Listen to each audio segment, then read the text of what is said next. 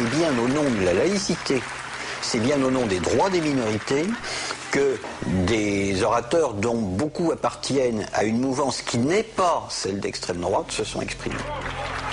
Ces musulmans, dans leur multiplicité, avec tout ce qui apparaît, tout ce qui existe, se sont volatilisés au profit de cette image horrifique d'un seul musulman, ce que j'appelle moi le musulman métaphysique, d'un seul musulman qui serait là pour conquérir l'Occident, qui serait là pour nous mettre en péril.